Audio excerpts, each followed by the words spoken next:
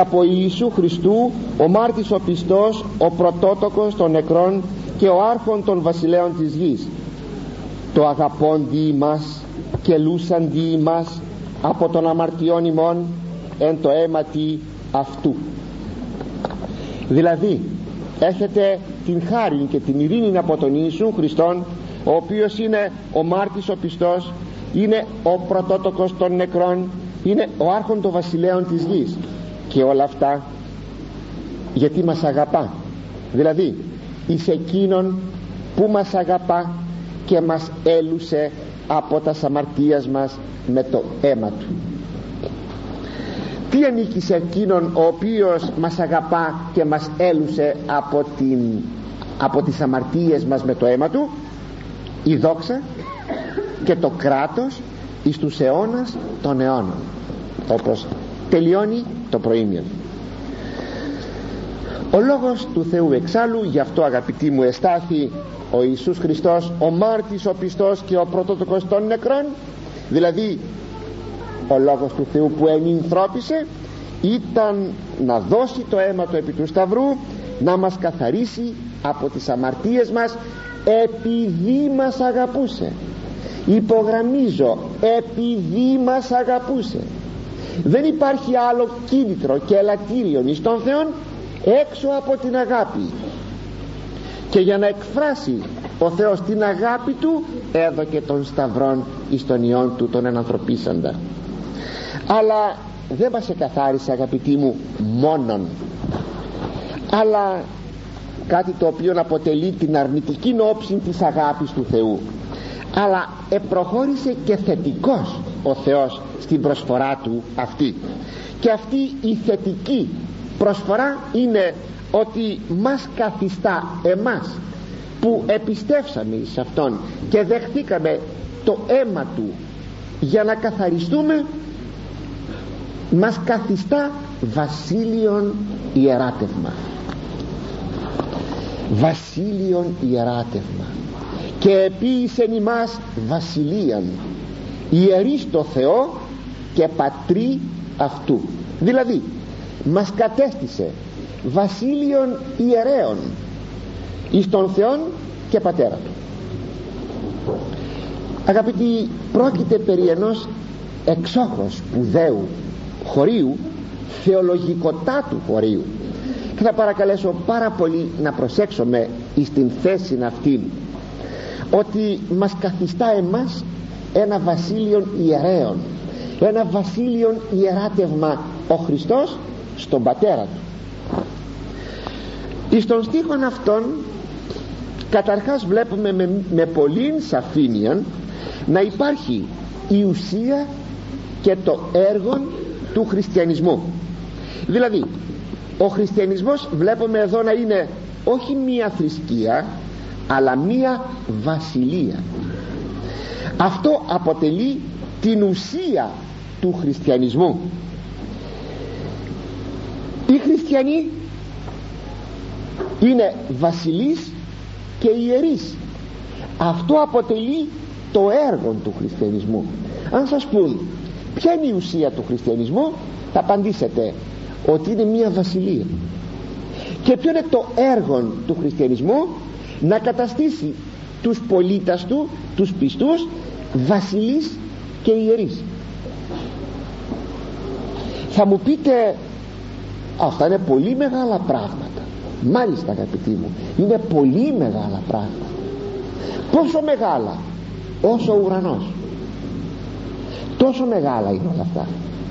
Πέστε μου λοιπόν αν κάποτε μάθουμε ότι είμαι χριστιανός σημαίνει είμαι πολίτης μιας βασιλείας είμαι ιερεύς και βασιλεύς. Όπως θα δείτε στην ανάλυση ε, της συνεχείας τότε πως θα μπορούσα να πω πια ότι ο χριστιανισμός είναι μια θρησκεία όπως είναι όλες οι φυσικές θρησκείες. Και σας έχω εξηγήσει. Φυσική θρησκεία θα πει εκείνη η οποία είναι κατεπίνιαν δηλαδή κατεπινόηση όλες οι θρησκείες αγαπητοί μου είναι κατεπινόηση κατεπινόηση ο χριστιανισμός είναι αποκάλυψης αλλά δεν είναι θρησκεία είναι βασιλεία και συνεπώς εγώ χριστιανός δεν είμαι εκείνος ο οποίος απλώς θα βολευτώ στη ζωή μου. Ας το προσέξουμε. Χριστιανός δεν σημαίνει εκείνος ο οποίος πληρώνει το φόρο του. Δεν ενοχλεί την αστυνομία ούτε τις δικαστικές αρχές. Είναι ο καλός και Χριστός πολίτης εξάλλου έτσι έχουμε μάθει να νομίζουμε ότι είναι ο χριστιανός. Ο καλός και αγαθός πολίτης. Ότι αυτό αποτελεί μία επίπτωση του να είναι ο χριστιανός. Ένας καλός και αγαθός πολίτης έτερον εκάτερον.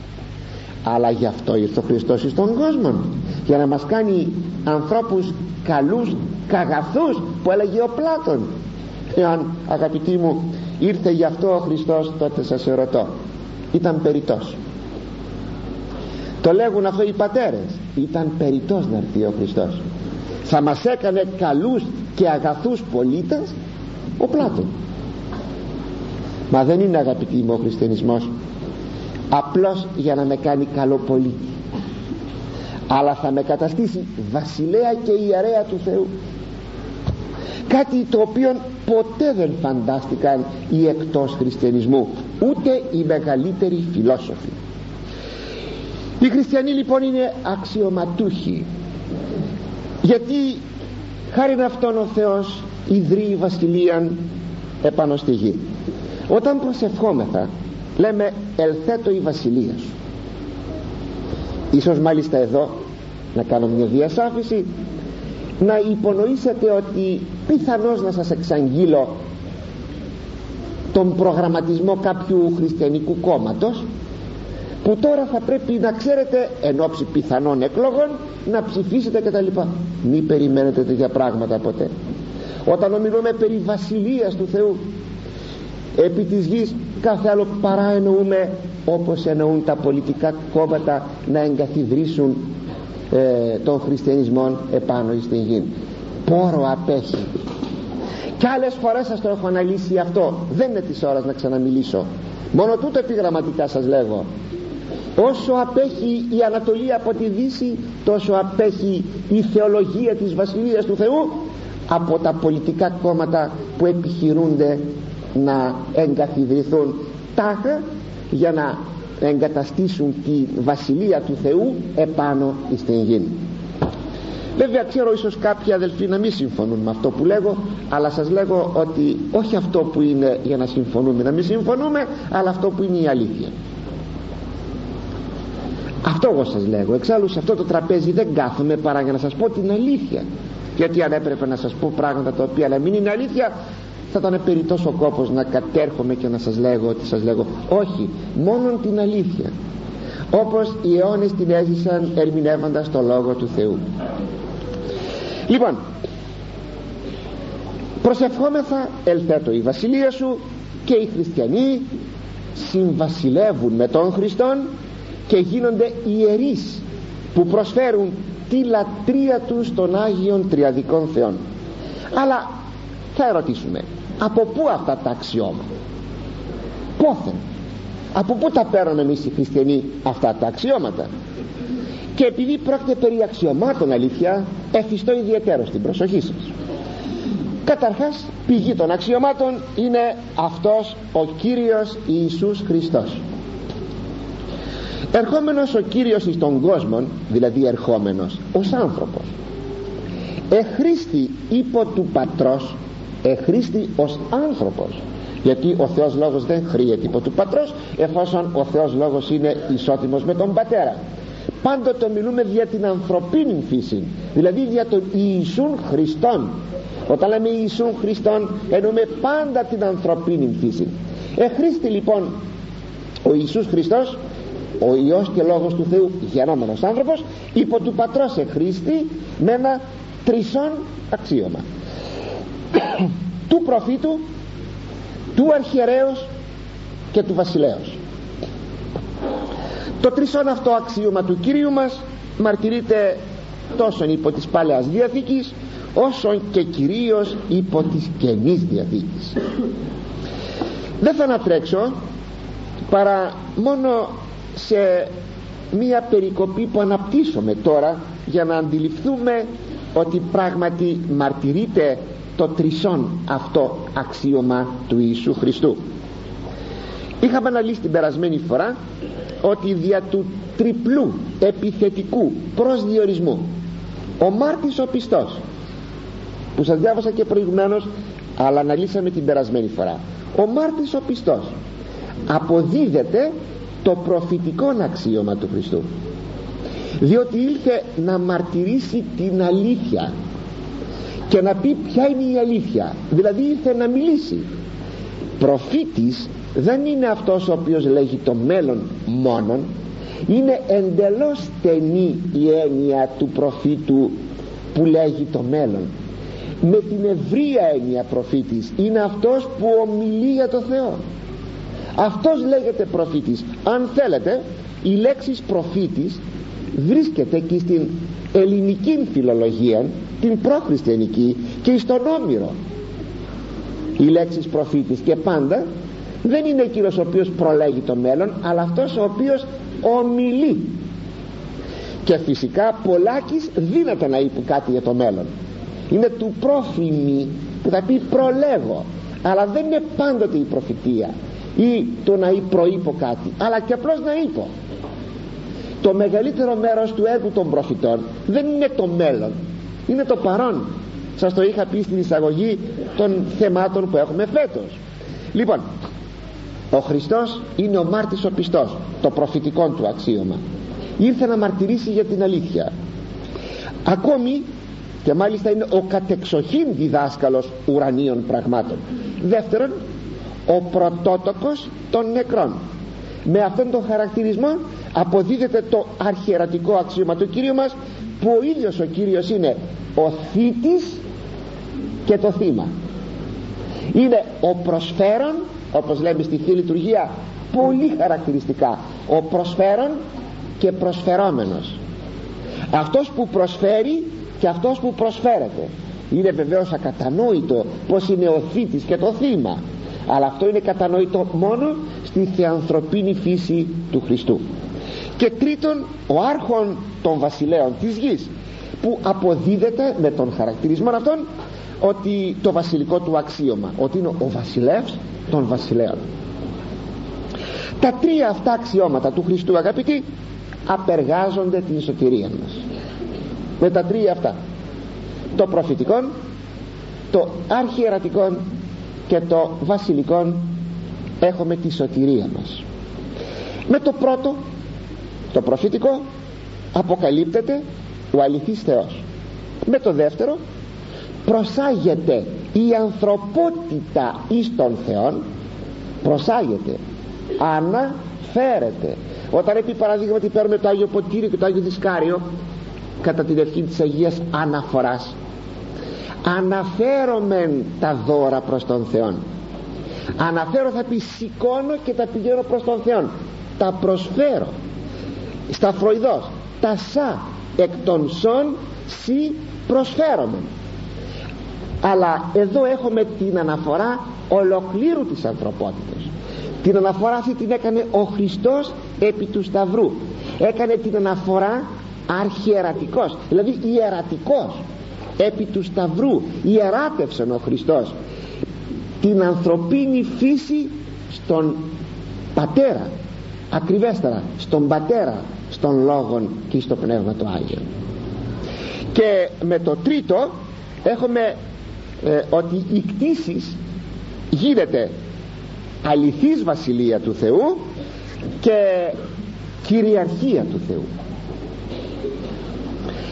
Αλλά με το βάπτισμα και το χρήσμα που κάθε πιστός παίρνει ενσωματώνεται εις το σώμα του Χριστού την Εκκλησία και με τον τρόπο αυτόν ο κάθε πιστός προσοικιούται σε κάποιο βαθμό και των τριών αξιωμάτων του Χριστού. Ο Χριστός προφήτης και ο πιστός γίνεται προφήτης. Ο Χριστός αρχιερεύς και ο πιστός γίνεται έντιμη μέτρο ιερεύς. Ο Χριστός βασιλεύς και ο πιστός έντιμη μέτρο γίνεται βασιλεύς. Ώστε λοιπόν σημαίνει ότι ο άνθρωπος παίρνει τα αξιώματα αυτά από τον Χριστόν ο οποίος Χριστός τα πήρε από τον Πατέρα. Εχρήστη ο Χριστός με το τρισόν αυτό ε, αξίωμα. Αλλά ακριβώς παίρνοντας εμείς από τον Χριστόν τα τρία αυτά του Χριστού έτσι μπορούμε να βλέπουμε αυτό που λέγει ο Ευαγγελιστής Ιωάννης στην Αποκάλυψη μετά από το τρισόν αξίωμα του Χριστού ότι επίησεν ημάς βασιλείαν ιερείς το Θεό και πατρί αυτού. Πότε επίησεν ημάς πότε μας έκανε εμάς βασιλείαν και ιερείς το Θεό; Αφού ο Χριστός εστάθη ο μάρτης ο πιστός εστάθη ο πρωτότοκος των νεκρών εστάθη ο άρχον των βασιλέων. Η θέση αυτή υπάρχει ήδη στην Παλαιά Διαθήκη. Αυτός ο Θεός λέγει δια του Μωυσέως τα εξής. Έξοδος 19,6 ημείς εσεσθέμι βασίλειον ιεράτευμα και έθνος Άγιον. Τα τα ρήγματα ερείς της Ιης Ισραήλ. Τι ωραίο αυτά τα λόγια να πεις λέγει στον Μωυσέα εις τους Ισραηλίτας ότι εσείς θα μου γίνετε βασίλειον ιεράτευμα έθνος Άγιον.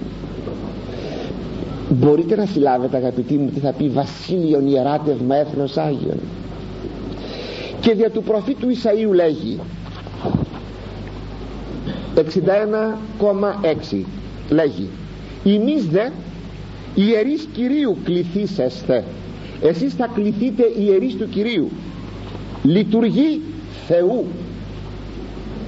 Ισχύν εθνών κατέδεστε και εν το πλούτο αυτών θαυμαστήσεστε. Το πρώτο λέγει θα γίνετε ιερείς του Θεού. Το δεύτερον ότι εσείς θα αποκτήσετε κατέδεστε θα φάτε κατά λέξη των πλούτων των εθνών και δια του πλούτου αυτών θα θαυμαστείτε. Δηλαδή σημαίνει όχι όπως ερμηνεύουν οι Εβραίοι να γίνουμε πλουτοκράτορες και κοσμοκράτορες όλοι οι ευλογημένοι άνθρωποι όλοι οι ταλέποροι πως έχουν παρανοήσει τον Λόγο του Θεού αλλά με την έννοια ότι θα γίνετε σεις βασιλείς. Αλλά η ορθή έννοια του ιερέως και του βασιλέως θα μας δοθεί μόνον εν Χριστώ Ιησού. Εάν δεν έχω την παρουσία του Χριστού τότε εβέβαια τότε μελετώντας την Παλαιά Διαθήκη χωρίς το φως της Καινής Διαθήκης τότε ωραιότατα μπορώ να μετατρέψω κατά σοβινιστικών εθνικιστικών τρόπων φιλετικών τρόπων την Αγία Γραφή και να πω ότι να για μένα λέγει Γραφή για μένα που είμαι Εβραίος να γίνω κοσμοκράτορ και πλουτοκράτης. Φοβερό πράγμα. Φοβερή παρανόηση του Λόγου του Θεού. Βάσει αυτών κινούνται αγαπητοί μου οι Εβραίοι. Είναι αξιολύπητοι. Είναι αξιολύπητοι. Πραγματικά. Δεν θα γίνουν ποτέ κοσμοκράτορες με την έννοια ότι θα χαρούν. Μόλις γίνουν θα γίνουν. Θα γίνουν γιατί αυτοί θα φέρουν τον Αντίχριστο. Μόλις γίνουν θα αναλωθούν. Και συνεπώς δεν θα χαρούν τίποτα. Ματαιοπονούν πραγματικά. Είναι εκείνο που λέγει ο δεύτερος ψαλμός. Εκγελάσετε αυτούς ο Κύριος θα γελάσει μαζί τους. Δηλαδή είναι μια ανθρωπο, ανθρωποπαθής έκφρασης που ο Θεός θα τους πει ταλέποροι και φτωχοί άνθρωποι τόσος σκόπος, τόσοι αγώνες αιώνες ολοκλήρους αγωνίζεστε να γίνετε κοσμοκράτορες. Τι βγάλατε, ήρθε το τέλος. Τι βγάλατε; Όχι λοιπόν με αυτή την έννοια. Αλλά ας προχωρήσουμε. Στην Καινή Διαθήκη αγαπητοί μου Απόστολος Πέτρος παίρνει τα της Παλαιάς και τα ανανεώνει πλέον καινοδιαθηκικός ως εξής. Α Πέτρος 2,5 και 9 ημείς δε γένος εκλεκτών ποιοι; Εσείς οι χριστιανοί. Όχι πλέον η συναγωγή εσείς οι χριστιανοί. Βασίλειον ιεράτευμα έθνος Άγιον. Λαός εις περιποίηση ώστε λοιπόν το έθνος το Άγιον και το βασίλειον του ιεράτευμα δεν είναι πλέον για τους Εβραίους είναι για τους χριστιανούς. Αυτό είναι. Αυτό είναι το φως της Καινής Διαθήκης. Νέα διάσταση παίρνει το πράγμα. Όπως τα αρετάς εξαγγείλεται του εξκότους ημάς καλέσαντος εις το θαυμάσιον αυτού φως. Βλέπετε πουθενά να υπάρχει το ηλιστικό στοιχείο. Πουθενά.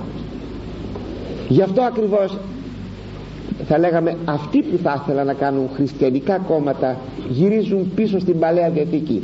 Πέφτουν ή το καταλαβαίνουν ή δεν το καταλαβαίνουν. Ή συνειδητά ή ασυνείδητα πέφτουν στο ίδιο λάθος που έπεσαν οι Εβραίοι. Στο ίδιο ακριβώς λάθος. Συνεπώς κάθε πιστός που είναι βαφτισμένος και είναι χρησμένος με το Άγιο Μύρον είναι προφήτης ιερεύς και βασιλεύς. Αλλά τι σημαίνει εγώ ο χριστιανός που βαφτίστηκα και εχρήστη ότι είμαι προφήτης βασιλεύς και ιερεύς. Τι σημαίνει αυτό; Πρώτον ως προς το αξίωμα του προφήτου. Είναι η έμπνευση του Αγίου Πνεύματος και τα πολλαπλά χαρίσματά του.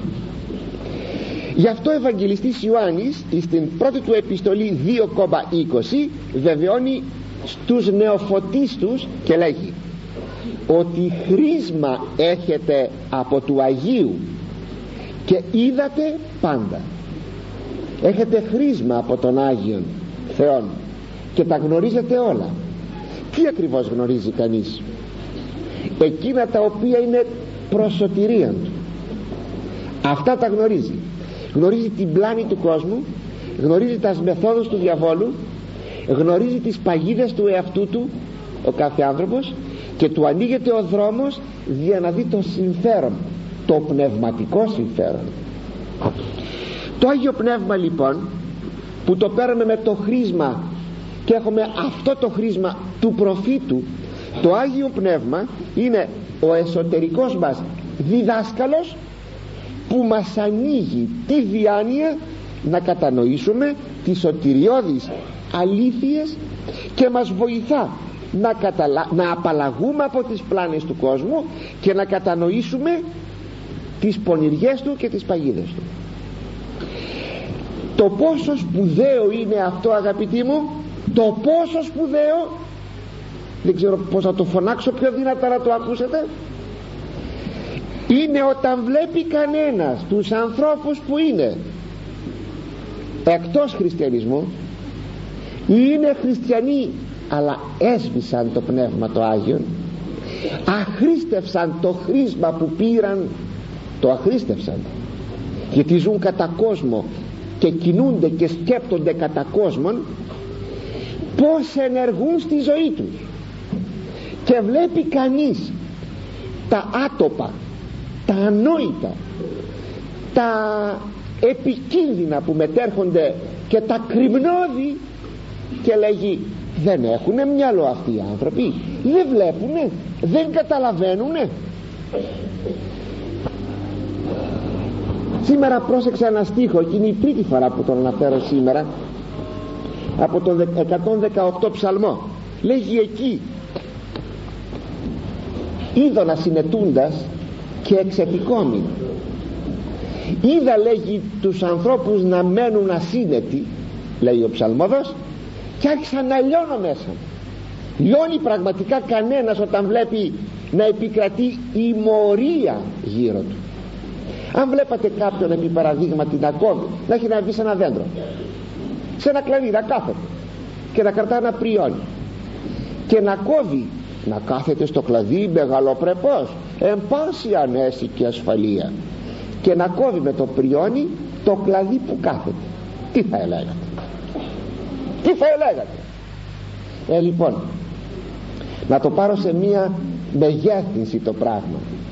Ως πολιτεία πέστε μου ως πολιτεία, ελληνική πολιτεία κόβουμε το κλαδί που καθόμαστε. Το κόβουμε αγαπητοί. Ρίξτε μια ματιά στην παιδεία. Να δείτε τι βαθιά κρίση περνάει η παιδεία μας. Βαθιά κρίση περνάει ρίξτε μια ματιά στις συνήθειες τα ήθη και έθιμα που εισάγονται καθημερινά στην κοινωνική μας και ιδιωτική μας ζωή. Πως αρχίζει ο νεοέλληνας να σκέπτεται; Πως αρχίζει να ζει; Που είναι στοιχεία που έζησαν οι λαοί όταν μπήκαν στον χώρο της παρακμής. Είναι στοιχεία παρακμής αυτά. Είναι σημάδια παρακμής ήδη ετονίστησαν από φιλοσόφους. Δηλαδή θα λέγαμε από ανθρώπους που μπορούσαν λίγο να κοιτάζουν στην Ευρώπη από τον περασμένο αιώνα ότι η Ευρώπη αργοπεθαίνει. Και εμείς παίρνουμε αυτά όλα σαν, σαν την τελευταία λέξη της προκοπής και της πρόοδου. Εδώ είναι ακριβώς που βλέπεις ότι πάμε να πεθάνουμε και εμείς. Πάμε κατά κρυμνού και δεν το βλέπουν οι άνθρωποι αυτό δεν το βλέπουν. Και σε πιάνει μέσα σου ένα αίσθημα παράξενο και περίεργο. Λιώνεις πραγματικά μέσα σου όταν βλέπεις τους ανθρώπους να ενεργούν όπως ενεργούν και πηγαίνουμε κατά κρυμνού για να μην πω ιδιωτικές περιπτώσεις και ιστορίες που βλέπουμε γύρω μας. Από εδώ να καταλάβετε τι θα πει έχω το χρήσμα του Αγίου Πνεύματος. Είμαι προφήτης. Δηλαδή με άλλα λόγια εν ευρία πάντα ενία. Με άλλα λόγια να έχω διδάσκαλό μου το Πνεύμα του Θεού να μπορώ να βλέπω. Να μπορώ να κρίνω. Αυτά που θα έλεγε κάποιος σαν κοινό νου. Αυτά που θα μας χάριζε το Πνεύμα του Θεού ως κοινό νου. Ούτε το κοινό νου δεν έχουμε. Και πολλές φορές μιλάμε εν ονόματι μιας πολλής και βαθιάς σοφίας. Και πρόκειται περί μορίας, μορίας, μορίας κατά το ούς ο Θεός βούλεται απολέσε μοραίνει φαίνεται ότι ο Θεός αποφάσισε να μας καταστρέψει γι' αυτό έχουμε μορανθεί και τούτο γιατί αφήσαμε το Θεό. Το είπα απλώς σαν ένα παράδειγμα να καταλάβετε τι θα πει έχω το προφητικό πνεύμα δηλαδή έχω διδάσκαλό μου το πνεύμα του Θεού που με φωτίζει πως πρέπει να προχωρώ δεύτερον ως προς το αξίωμα του ιερέως εδώ πρέπει να γίνει μία διασάφηση. Η γενική αυτή ιεροσύνη που υπάρχει στους πιστούς που είπε ιερής βασίλειον ιεράτευμα κάθε βαπτισμένος είναι και ένας ιερεύς. Αυτή η γενική ιεροσύνη δεν υποκαθιστά την λειτουργική ιεροσύνη και συνεπώς να παραμερίζει το μυστήριο της ιεροσύνης όπως δυστυχώς πράττουν οι προτεστάντες οι οποίοι λένε και ομιλούν για μια γενική ιεροσύνη αλλά δεν έχουν την ειδική ιεροσύνη γι' αυτό και κατήργησαν το μυστήριο της ιεροσύνης. Πρέπει να σας πω ότι το μυστήριο της ιεροσύνης είναι το μυστήριο της Εκκλησίας. Και το μυστήριο της Εκκλησίας είναι το μυστήριο της Εκκλησίας γι' αυτό η ιεροσύνη το μυστήριο της ιεροσύνης τελείται κατά τη Θεία Λειτουργία. Η Θεία Λειτουργία προέρχεται από την ιεροσύνη συνίσταται από την ιεροσύνη και ταυτοχρόνως συνιστά την ιεροσύνη. Δηλαδή ο ιερεύς τελεί τη λειτουργία, τελεί τη λειτουργία ο αρχιερεύς, ο επίσκοπος τελεί τη λειτουργία δυνάμει της ιεροσύνης του παρακαλώ προσέξτε αυτό το σημείο δυνάμει της ιεροσύνης του και ταυτοχρόνως μέσα στη λειτουργία αποκτάται η ιεροσύνη. Γι' αυτό διακρίνεται ωστόσο αλλά και ταυτίζεται η ιεροσύνη το μυστήριο της ιεροσύνης με το μυστήριο της Εκκλησίας. Διακρίνεται και ταυτίζεται. Είναι πολύ σπουδαίο. Είναι πολύ σπουδαίο. Αυτό ακριβώς το κατήργησαν οι προτεστάντες γι' αυτό στην πραγματικότητα επειδή κατήργησαν την ιεροσύνη δεν έχουν εκκλησία. Οι προτεστάντες δεν είναι εκκλησία. Είναι χριστιανικές κοινότητες. Δεν είναι εκκλησία. Το ξαναλέω άλλη μια στιγμή άλλη μια φορά. Και αν ομιλούν περί, Χριστι... περί προτεσταντικής εκκλησίας ή ψεύδονται ή ομιλούν, ομιλούν καταχρηστικός και ξαναλέγω άλλη μια φορά δεν είναι εκκλησία επειδή δεν έχουν μυστήριο. Ιεροσύνης. Με την ειδική σημασία της λέξεως. Είδατε αρκετά το ετώνησα. Ελπίζω διεσάφισα την ειδική ιεροσύνη και την γενική ιεροσύνη. Αλλά τόσο η γενική όσο και η ειδική ιεροσύνη ξεκινούν από τον Χριστόν και καταλήγουν πάλι στον Χριστόν η κάθε μια όμως έχει τη δική της πορεία επουδενή λόγο αντικαθιστά η μία την άλλη. Επουδενή λόγο. Ο πιστός σαν ιερεύς με τη γενική έννοια της, της ιεροσύνης συμβάλλει εις την θυσία της Αγίας Τραπέζης. Συμβάλλει. Αφενός μεν με τις υλικές προσφορές του. Όταν ο πιστός θα φέρει το πρόσφορό του και το κρασί του. Αυτά θα τα προσφέρει στον ιερέα και με την προσφορά του αυτή συμβάλλει στην πρόσφορα του ιερέως εν ειδική ενία που θα γίνει προς τον Θεό. Όταν θα πάρει ο ρεύς στο Αγιο που είναι μέσα ο αμνός που είναι το ψωμί ακόμη ψωμί είναι. Ακόμη δεν είναι σώμα Χριστού. Και θα πει τα σα εκ των σών σύ προσφέρομαι. Αυτό αγαπητοί μου του το έφερα σύ προσφέρομαι. Αυτό αγαπητοί μου του το έφεραν οι πιστοί έχουμε δηλαδή μία αλυσίδα προσφοράς. Ο πιστός παίρνει το πρόσφορο. Το ζήμωσε, το φτιάξε και το φέρνει στην εκκλησία. Το παίρνει ο ιερεύς και τώρα έχει την τελική αναφορά. Την πρώτη αναφορά λοιπόν την έχει ο πιστός. Την τελική αναφορά την πρώτη ως ιερεύς εν γενική ενία. Την τελική αναφορά την έχει ο ιερεύς εν ειδική ενία. Ώστε λοιπόν βλέπουμε ότι ο πιστός με τη γενική έννοια του ιερέως προσφέρει και εκείνο στα δώρα του τα υλικά. Αλλά κάτι ακόμη περισσότερο είναι ότι έχει την πνευματική του συνεργασία με τον ιερέα δηλαδή προσφέρει διά του ιερέως και μετά του ιερέως ό,τι θα προσφέρει. Προσέξτε διά του ιερέως δια των χειρών του ιερέως και μαζί με τον ιερέα ό,τι θα προσφέρει. Οπότε βλέπουμε αυτό που στην πράξη είναι ως εξής. Και τώρα θα με καταλάβετε. Μπορεί ο ιερεύς να λειτουργήσει μόνος του. Παίρνει ένα πρόσφορο ανοίγει το ναό μπαίνει μέσα λέει ευλογητός ο Θεός ευλογημένη η Βασιλεία και ξεκινάει τη Θεία Λειτουργία μπορεί; Όχι. Όχι για λόγους τεχνικούς. Όχι διότι δεν έχει ψάλτη και ποιος θα πει το αμήν απ' έξω το Κύριε Λέισον. Όχι διαλόγους τεχνικούς. Διαλόγους εκκλησιολογικούς. Απαγορεύεται ο ιερεύς να τελέσει μόνο τη Θεία Λειτουργία χωρίς να είναι και ένας πιστός. Απαγορεύεται. Αυτό ξαναλέγω άλλη μία φορά. Όχι διαλόγους τεχνικούς αλλά διαλόγους εκκλησιολογικούς. Δηλαδή ποιοι είναι οι εκκλησιολογικοί λόγοι; Όλα αυτά που σας λέγω τόση ώρα.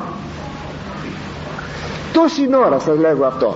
Δηλαδή εγώ ιερεύς για μια στιγμή που είμαι ιερεύς δεν μπορώ να τελέσω τη λειτουργία. Όχι.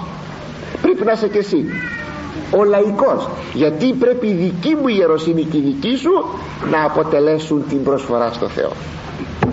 Με άλλα λόγια το λαϊκό στοιχείο που έχει την γενική ιεροσύνη πρέπει να είναι παρόν. Παρόν. Γι' αυτό και ο λαός κοινωνεί σώματος και αίματος όπως και ο, ο, ο ιερεύς σώματος και αίματος. Γιατί το λέγω αυτό; Γιατί εν ώψη όλων αυτών των συνεδρίων και λοιπά παρακαλώ καταρτίζεστε να ξέρετε που βρισκόμεθα. Η Ρωμαιοκαθολική Εκκλησία προηγουμένως σας είπα για τους προτεστάντες τώρα σας λέγω τη Ρωμαιοκαθολική Εκκλησία αυτή δεν κοινωνεί τους πιστούς με αίμα Χριστού παρά μόνο με σώμα. Τι σημαίνει αυτό; Σημαίνει ότι δίδει προνόμια στον κλήρο τα οποία δεν παίρνει ο λαός. Γι' αυτό και ο Ρωμαιοκαθολικός ιερεύς δύναται να λειτουργήσει μόνος του κάθε μέρα στο δωμάτιό του λίγα λεπτά και 10 λεπτά από, από 10 λεπτά έως μία ώρα είναι η λειτουργία των Ρωμαιοκαθολικών των παπικών και 10, σε 10 λεπτά τελεί τη λειτουργία κοινωνεί μόνος του και πάει στη δουλειά του. Αυτά η Ορθοδοξία μας δεν τα γνωρίζει. Γιατί; Διότι εσφαλμένα προχώρησαν ή γνώρισαν τον λαό. Ο λαός, η παρουσία του λαού του λαϊκού στοιχείου είναι θεμελι, θεμελιωδεστάτη σημασίας και το εκφράζει η Εκκλησία μας με αυτόν τον τρόπο. Δεν μπορείς ο ιερέ να λειτουργήσεις χωρίς το λαϊκό στοιχείο. Χωρίς να υπάρχει κι άλλος μέσα. Να είναι παρόν κι άλλος. Βλέπετε πόσο σπουδαία είναι αυτά τα πράγματα. Αλλά προχωρώ. Ο Απόστολος Πέτρος Α, συγγνώμη, πρέπει να σας πω ακόμα ότι η γλώσσα της Θείας Λειτουργίας είναι συντεταγμένη πρώτων πληθυντικών πρόσωπων τι σημαίνει αυτό εις πρώτων πληθυντικών πρόσωπων; Σημαίνει ότι προβλέπει ο τύπος η μορφή της λειτουργίας. Προβλέπει περισσότερους λειτουργούς του ενός. Για να είναι συντεταγμένη σε πρώτο πληθυντικό όχι. Σημαίνει ότι είναι παρόν ο λαός. Και σημαίνει όλος ο κόσμος κλήρος και λαός. Άπασε η Εκκλησία.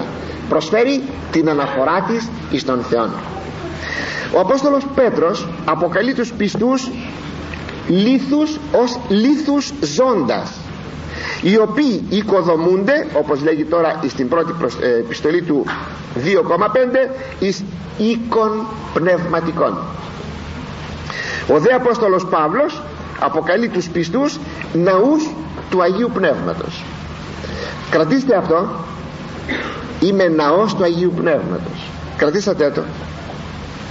Τι θα πει με ναός του Αγίου Πνεύματος; Θα πει ότι σε αυτόν τον ζώντα ναόν του Θεού ο κάθε πιστός είναι για τον εαυτό του το δικό του το ναό ο φύλακας του και ο ιερέας του.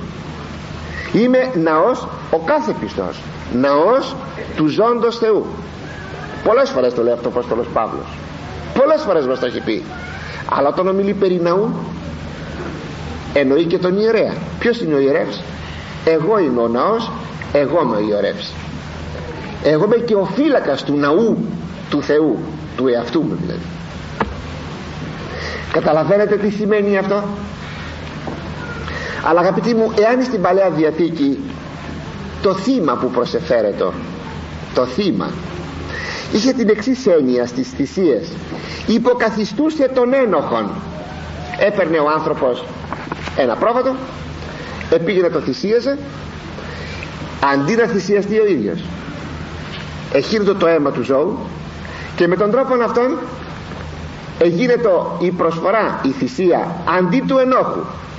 Το πρόβατο που δεν φταίει σε τίποτα αντί του ενόχου. Χύνεται το αίμα του ζώου. Γιατί τότε θα πρέπει εμείς οι ίδιοι να αυτοφωνευόμεθα. Δεν το θέλει αυτό ο Θεός.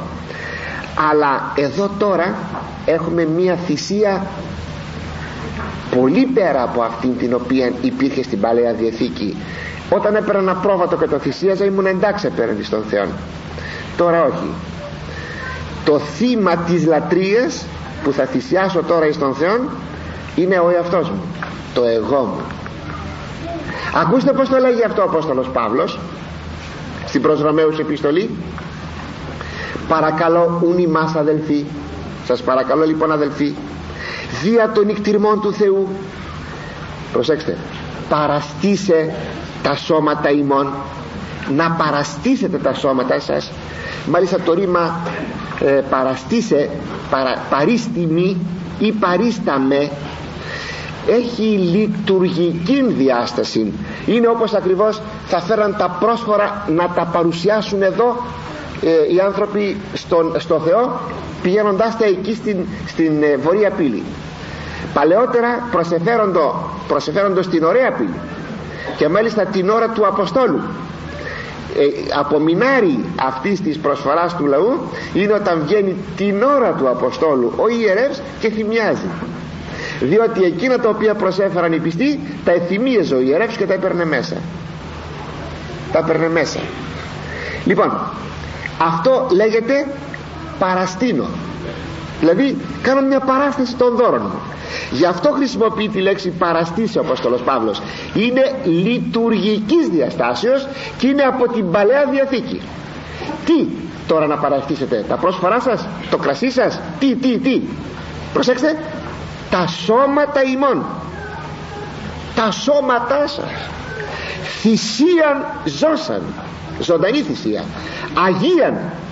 Ευάρεστον το Θεό την λογική λατρεία ημών. Λογική θα πει πνευματική. Την πνευματική λατρεία ώστε λοιπόν θα προσφέρω τον εαυτόν μου. Αλλά τότε μη ιερεύσαν προσφέρω τον εαυτόν μου. Και λέγει ο Απόστολος Πέτρος α Πέτρου 2,5 και αυτοί ως λύθοι ζώντες οικοδομήστε οίκος πνευματικός γεράτευμα Άγιον ανενέγγε πνευματικά θυσίας ευπροσδέκτους στο Θεό δια Ιησού Χριστού ώστε να φέρετε πνευματικές θυσίες που είναι ευπρόσδεκτες στο Θεό διαμέσου του Ιησού Χριστού του Μεσίτου ώστε λοιπόν η θυσία του ιερατεύοντος πιστού είναι του ιερατεύοντος πιστού με τη γενική έννοια του ιερέως. Όλοι εσείς δηλαδή πρώτον είναι θυσία ενέσεως. Ο καρπός των χιλέων όπως λέει ο Απόστολος Παύλος. Λέει Εβραίους 13,15 δια του Ιησού Χριστού αναφέρομεν το ρο με ωμέγα δηλαδή ας αναφέρομεν. Βλέπετε το ρήμα αναφέρω εξού και η ευχή της Αγίας Αναφοράς. Το βλέπετε; Λειτουργική λέξη και αυτή. Ας αναφέρομεν θυσίαν τι θυσίαν ενέσεως δηλαδή ύμνος ύμνος. Δοξολογία ύμνος από το στόμα μου. Διαπαντός το Θεό του τέστην δηλαδή καρπών χιλέων. Δεν λέει καρπών καρδίας. Λέει καρπών χιλέων. Δηλαδή να ψάλω στον Θεό ομολογούντον το ονόματι αυτού. Με το να ψάλω να ενέσω το Θεό και να ομολογώ να ομολογώ το όνομα του Θεού δεύτερον θυσία δικαιοσύνης. Λέει ο πεντηκοστός ψαλμός ότι ή θέλεις θυσίαν εδώ κάνει εάν πραγματικά ζήτησες θυσία σου την έδωσα λέει ο πιστός στο Θεό. Ποια; Ολοκαυτώματα ούτε ευδοκίσεις. Δεν θέλεις τα ολοκαυτώματα. Δηλαδή τα ζώα να τα ρίξουμε στη φωτιά να καούν. Θυσία το Θεό γιατί θυσία στο Θεό είναι πνεύμα συντετριμένων καρδία συντετριμένη και τεταπεινωμένη ταπεινωμένη ο Θεός ούτε εξοδονώσει δεν θα αποθήσει δεν θα διώξει ο Θεός. Τότε ευδοκίσεις θυσίαν δικαιοσύνης αναφοράν και ολοκαυτώματα, ολοκαυτώματα. Τότε θα ευδοκίσεις τότε θα θελήσεις και τότε θα δεχθείς θυσίαν δικαιοσύνης αναφοράν και ολοκαυτώματα τι είναι αυτή η θυσία της δικαιοσύνης; Ο, όλος ο στίχος και όλη η περικοπή μας λέει το εξής. Είναι η θυσία της μετανοίας. Μεγάλη θυσία στο Θεό. Είναι η θυσία της μετανοίας που με την αμαρτία μας προσβάλαμε το Θεό και λυπήσαμε το Πνεύμα το Άγιον. Ακόμη δικαιοσύνη θα πει αρετή. Είναι η θυσία της αρετής. Θα βάλω στο θυσιαστήριο με τα κάρβουνα με τα κάρβουνα που καίνε μέσα της προσφοράς. Θα βάλω τις αρετές μου να γίνουν θυμίαμα να ανεβούν στον ουρανό. Δεν λέγει κάπου στο Κυριακή Άκραξα κατευθυνθεί το η προσευχή μου ως θυμίαμα ενώπιόν σου δεν σου προσφέρω θυμίαμα σου προσφέρω την προσευχή μου. Αν θέλεις Κύριε σου προσφέρω και το θυμίαμα μαζί με την προσευχή μου αλλά όπως αυτή τη στιγμή ανεβαίνει το θυμίαμα έτσι να ανέβει η προσευχή μου. Έτσι να ανέβουν και οι αερατές μου. Οι αρετές μου. Δηλαδή η αγιότητά μου. Ώστε λοιπόν ποια είναι η θυσία της δικαιοσύνης; Η θυσία της δικαιοσύνης είναι η θυσία των αρετών. Να προσφέρω τις αρετές μου. Να είμαι Άγιος άνθρωπος. Τρίτον η θυσία της ελεημοσύνης. Λέει στην προς ο Απόστολος Παύλος της ευποιίας καλών πράξεων και κοινωνίας. Μη επιλανθάνεστε. Μη ξεχνάτε να έχετε να έχετε να έχετε ε, συνέστηση της παρουσίας του άλλου και να του κάνετε καλό πάντοτε. Τι αυτές θυσίες τι αυτές γάρ θυσίες ευαρεστεί το Θεός. Ώστε λοιπόν θυσία είναι αυτό και μάλιστα ευάρεστη θυσία. Μάλιστα. Ώστε έχουμε αγαπητοί μου τη θυσία της ενέσεως καρπών χιλέων θυσία δικαιοσύνης μετανοίας και αρετών και θυσία ελεημοσύνης. Αυτά ως προς την, ε, το ιερατικό αξίωμα. Έχουμε συνεπώς αυτήν την γενική ιεροσύνη. Και ως προς το αξίωμα των βασιλικών τώρα. Στο βάπτισμα λαμβάνομαι ως αραβόνα την κληρονομία της κληρονομίας μας την σφραγίδα του Αγίου Πνεύματος. Το ακούμε εκεί χαρακτηριστικά όταν το λέει ο ιερεύς σφραγής πνεύματος Αγίου. Αλλά σφραγίδα θα πει ότι χαράσετε κάτι επάνω μας. Ποιο είναι αυτή, αυτό το χάραγμα; Θα δούμε δες στην αποκάλυψη παρακάτω πολύ αργότερα ίσως του χρόνου δεν ξέρω. Ότι, ότι του χρόνου πολύ πολύ αργότερα όταν ο Αντίχριστος θα βάζει το θηρίον το χάραγμα το δικό του. Αλλά και οι πιστοί έχουν το χάραγμα το δικό τους. Ποιο είναι αυτό το χάραγμα; Δεν σας λέω τώρα για τον Αντίχριστο ποιο είναι το χάραγμα του θηρίου ή του Αντιχρίστου. Σας λέω μόνο το χάραγμα του πιστού. Είναι ο Σταυρός με τον οποίο χαράσεται νοητός ο άνθρωπος και γίνεται παίρνει την σφραγίδα του Αγίου Πνεύματος. Αυτό με τα, με, με τα της ελευθέρας αποδοχής ε, να βαπτιστώ και να γίνω χριστιανός. Ώστε λοιπόν όταν παίρνω αυτήν τη σφραγίδα του Αγίου Πνεύματος ε, τότε γίνομαι, γίνομαι ο άνθρωπος που δέχομαι μια επαγγελία έναν αραβόνα, μια υπόσχεση ότι θα γίνω βασιλιάς. Όχι δούλος βασιλιάς. Θέλετε να το δείτε; Το βιβλίο της Αποκαλύψεως 4,4 και κυκλώθεν του θρόνου. Θρόνοι 24 γύρω από τον θρόνον του καθημένου επί του θρόνου του Θεού είδα θρόνους 24 δις 12 δις 12 που σημαίνει πλήθος και είναι πιστή. Και επί τους θρόνους είδων τους 24 πρεσβυτέρους καθημένους. Γιατί πρεσβύτεροι; Δια το όριμον της αγιότητας όταν θα έρθει η ώρα να προχωρήσουμε στα οράματα του, ε, του Αγίου Ιωάννου του Ευαγγελιστού πότι μεγαλείο εκεί. Περιδευλημένους ενηματίης λευκής ντυμένοι με λευκά ημάτια. Και επί τα σκεφαλάς αυτών στεφάνους χρυσούς. Χρυσά στεφάνια συνεπώς ο πιστός δεν είναι δούλος αλλά είναι εστεμένος. Είναι εστεμένος είναι βασιλιάς. Και λέγει ο Κύριος οι δίκαιοι εκλάμψουσιν όσο ήλιος εν τη βασιλεία του πατρός αυτών. Θα λάμψουν σαν τον ήλιο στη βασιλεία του πατέρα των τι σημαίνει όμως εδώ; Εις τη γη ότι έχουμε το βασιλικό αξίωμα. Εδώ στη γη. Θα μου πείτε ναι στον ουρανό. Εστεμένη μάλιστα.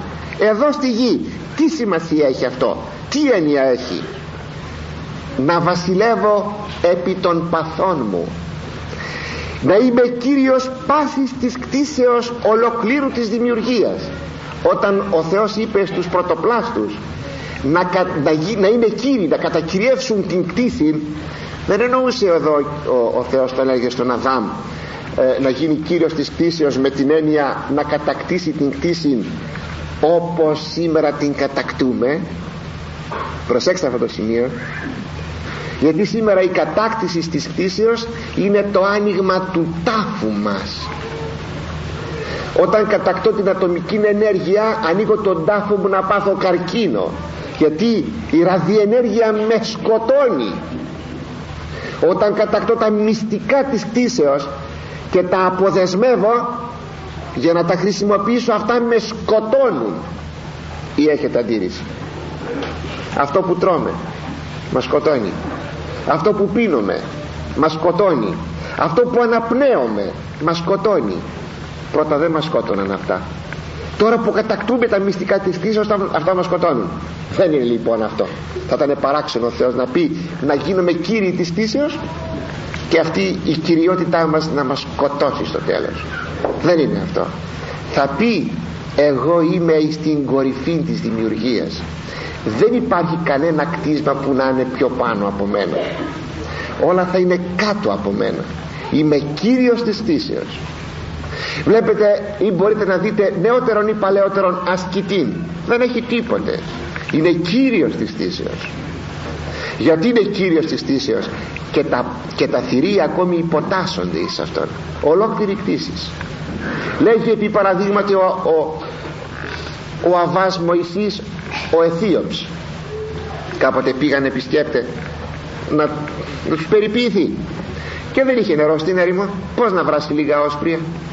Βγαίνει έξω βάζει ένα τσουκαλάκι και λέγει κύριε στείλει μου λίγο νερό αμέσως λοιπόν ήρθε ένα σύννεφο και γέμισε μόνο το τσουκαλάκι με νερό. Το πήρε, έβρασε τα όσπρια και τα έδωσε στους επισκέπτες. Αυτό θα πει με βασιλεύς της θύσεως αυτό θα πει. Και μάλιστα όχι κατά αυτόνομον τρόπο που αποδεσμεύω τα μυστικά της θύσεως για να με σκοτώσουν θα πει αυτόνομο τρόπο ότι δεν υπάρχει ο Θεός. Είμαι Κύριος της θύσεως αλλά να γνωρίζω ότι πάνω από μένα είναι ο απόλυτος Κύριος ο Θεός. Αλλά ακόμη είμαι Κύριος και επί των παθών μου. Τι, τι κυβερνά τα πάθη μου; Ο ηγεμόν νους και πνεύματι ηγεμονικό στήριξόν με. Ηγεμονικό ηγεμόν θα πει βασιλεύς. Με βασιλικό νου στήριξέ με. Να είναι ο νους βασιλιάς. Αυτός να κυβερνά την ύπαρξή μου. Να μην γίνομαι δούλος των ανθρώπων. Να μην γίνομαι δούλος των ιδεών. Να μην γίνομαι δούλος της ύλης. Αυτό θα πει από την παρούσα ζωή να είμαι με το αξίωμα του βασιλέως. Αλλά αγαπητοί μου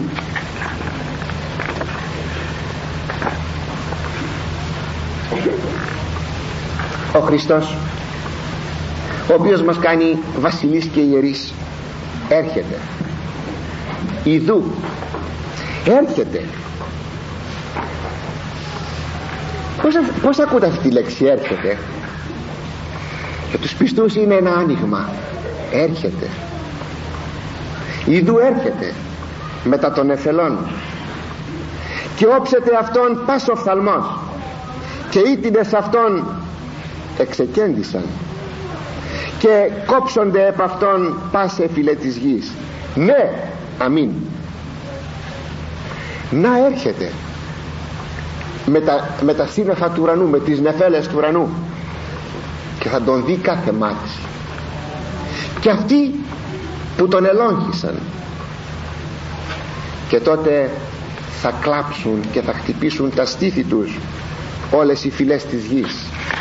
Ναι αμήν. Οι στίχοι 7 και 8 που σας διάβασα τώρα αγαπητοί αυτοί κλείουν το προήμιον και αποτελούν και την κεντρική ιδέα του όλου βιβλίου. Όπως συμβαίνει πολλές φορές και στις επιστολές του Αποστόλου Παύλου στο προήμιο να έχει την κεντρική ιδέα ε, της ε, επιστολής. Ποια είναι αυτή η κεντρική ιδέα του βιβλίου της Αποκαλύψεως; Είναι η Δευτέρα του Χριστού παρουσία. Θα είναι το κεντρικό σημείο γύρω από το οποίο θα στρέφονται ό,τι θα μας πει και θα μας μιλήσει το βιβλίο της Αποκαλύψεως. Ο Χριστός έρχεται. Ο Χριστός έρχεται. Με την εισαγωγή του Ιδού θέλει να μας επιστήσει την προσοχή και να επί της κεντρικής αυτής ιδέας κάτι που το κάνει πολύ συχνά η Αγία Γραφή. Ιδού λένε οι Ιεροί Ευαγγελιστές στα Ευαγγελιά τους. Δηλαδή να και έγινε εκείνο και έγινε εκείνο.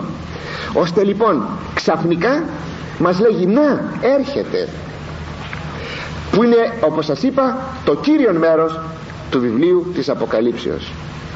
Αλλά αυτή ακριβώς η εικόνα ιδού έρχεται μετά των εθελών του ουρανού. Και όψονται όψεται πάσο φθαλμός και εκείνοι που εξεκέντησαν εκείνοι που ελόγχησαν τον Χριστόν και αυτοί θα χτυπάν το κεφάλι τους και το στήθος τους βλέποντας ποιον ελόγχησαν έχουμε μία θαυμασία εικόνα ερχομένου Χριστού και ταυτοχρόνως μία φοβερή εικόνα. Εδώ συναντώνται δύο προφητείες χριστολογικές. Η μία και οι δυο ανήκουν στην Παλαιά Διαθήκη και είναι σε συνδυασμό εδώ. Η μια ανήκει εις τον προφήτη Δανιήλ και η άλλη ανήκει εις τον προφήτη Ζαχαρία. Αυτές οι δύο προφητείες είναι εκείνες που έδωσαν το άνοιγμα για την σύνθεση αυτού του οράματος και ταυτοχρόνως προφητείας που ο Ευαγγελιστής Ιωάννης μας παραθέτει και κλείει το προήμιό του. Αλλά επειδή όμως είναι πολύ μεγάλο θέμα και η ώρα τελείωσε θα κλείσουμε. Θα ήθελα μόνο να σας έλεγα όταν κάποτε φτάσει μια στιγμή αλλά φτάσει όμως δεν θα είναι συναισθηματικό πράγμα να είναι ένα φτασμένο πράγμα μες στην καρδιά μας ότι ο Χριστός έρχεται τότε γίνεται ένας πόθος μια ελπίδα μια νοσταλγία. Τότε τίποτα δεν μας κρατά στην παρούσα ζωή. Δεν επιθυμούμε να πεθάνουμε ή να φύγουμε. Όχι. Απλώς ο Χριστός έρχεται. Είναι μια βαθιά βαθιά ελπίδα αυτή. Είναι ένα τραγουδάκι ε, όμορφο τραγουδάκι των κατηχητικών σχολείων που λέγει ο Χριστός έρχεται ξανά στη γη όσες φορές το ακούω αυτό ειλικρινά με συγκινεί έτσι πρέπει να αρχίσουμε αγαπητοί μου μέσα μας να αισθανόμαθα αυτήν την εμπειρία. Ο Χριστός έρχεται. Ήταν η εμπειρία της πρώτης χριστιανικής εκκλησίας. Με αυτήν την εμπειρία έζησε η Εκκλησία με αυτήν την εμπειρία έδωσε τους μάρτυρες με αυτήν την εμπειρία έδωσε και τους Αγίους. Με αυτήν την εμπειρία αγαπητοί μου